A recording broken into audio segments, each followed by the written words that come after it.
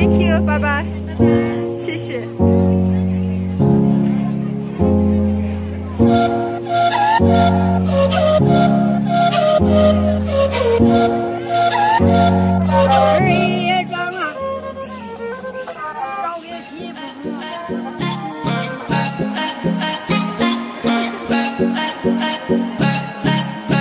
Hamam böceği, fare, akrep, yılan vesaire.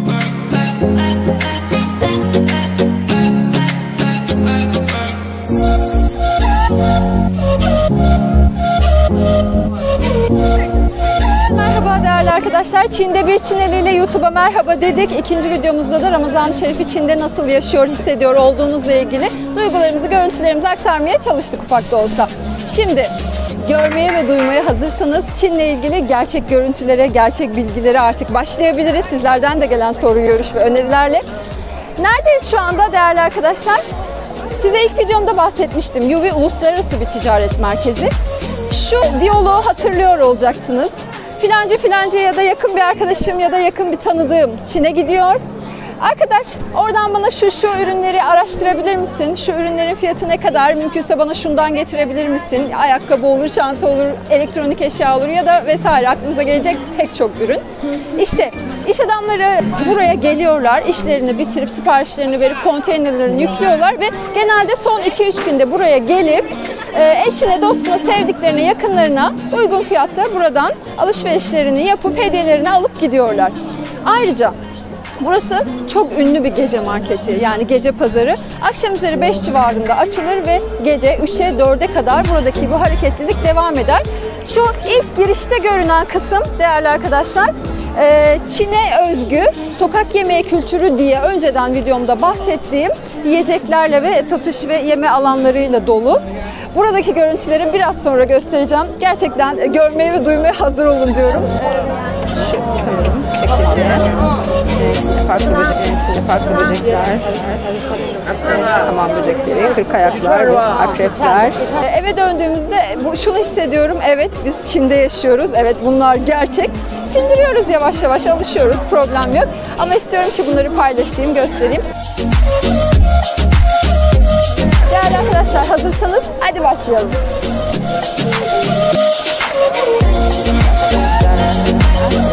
Bunlar bildiğiniz mısırlar gördüğünüz gibi.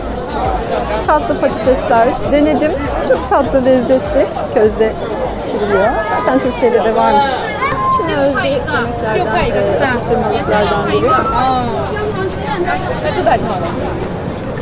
Midye kabuklarının içinde pişiriliyor.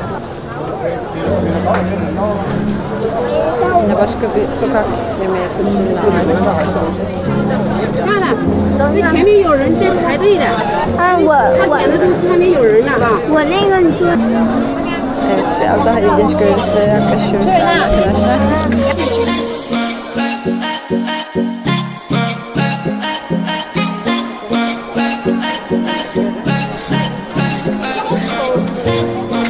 Özelden soruyorlardı arkadaşlar denedin mi? Hayır denemedim. Pek de denemeyi düşünmüyorum. Evet devam ediyoruz. Yine ilginç atıştırmalıklardan bazıları. Aa, sorry. Evet, görüyorsunuz. Deniz ürünlerinin düşkünlükleri zaten biliniyor. Bol soslu, yoğun, acılı ıstakozları.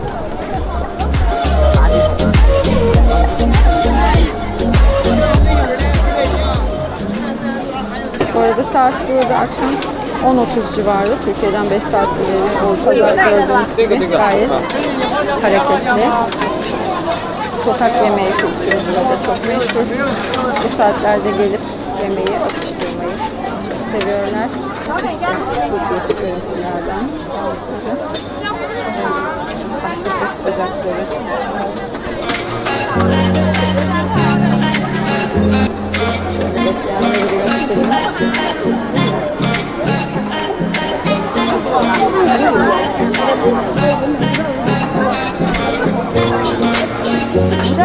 Bekleyenleri göstereyim. Aslında mutfaklarında hamuru da bolca kullanıyorlar. Kahvaltıda bile yedikleri tuzsuz, yağsız, şekersiz diyebileceğim hamur çeşitleri var. Soslara olan düşkünlüğü zaten malum. Acıyı bolca kullanıyorlar.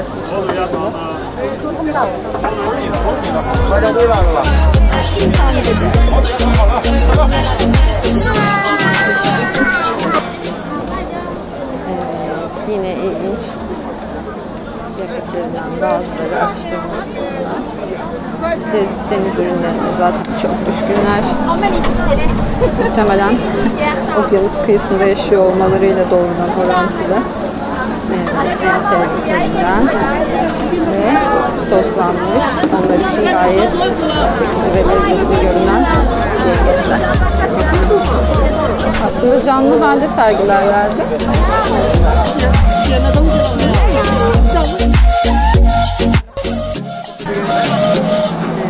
yine deniz ürünleri. Buradan kendiniz seçiyorsunuz. Hemen şurada pişiriyorlar.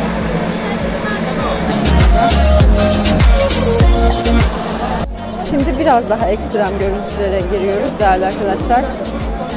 Kırkayak, hamam böceği, fare, akrep, yılan vesaire. Ama şunu ısrarla vurgulamak istiyorum. Instagram'da da paylaşımını yapmıştım.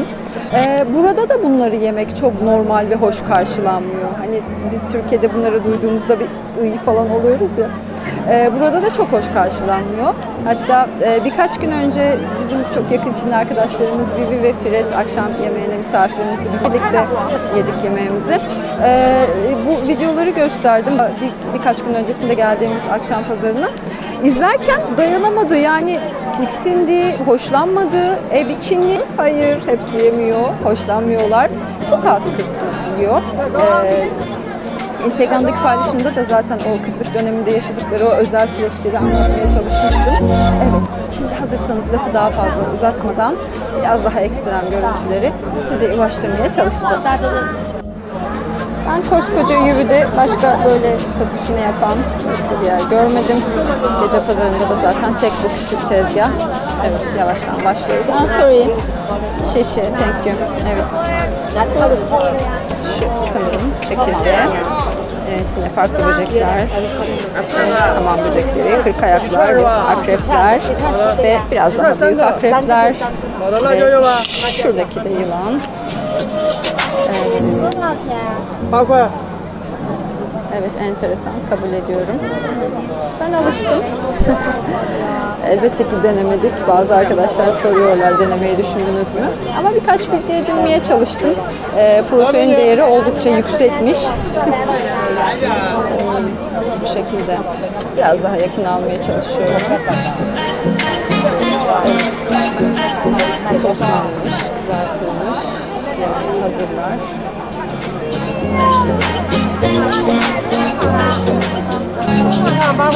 Herkese tekrar merhaba değerli arkadaşlar. Gece pazarında gezerken çok ilginç görüntüleri karşılaşıyorum. Merak ettiğimiz karelerden biri. Bir akrebi alıp yiyecek. Bakalım. Laban, you can start.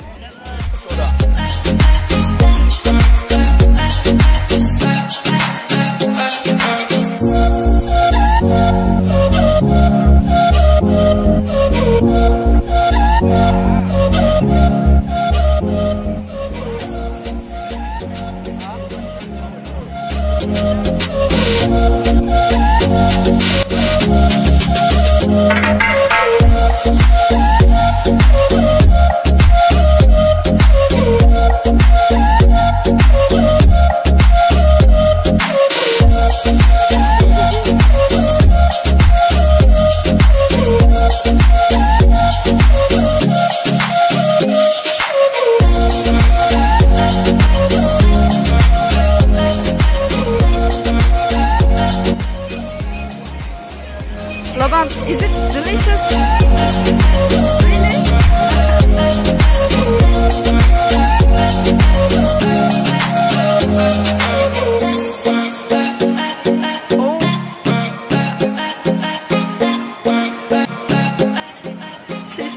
Thank you very much.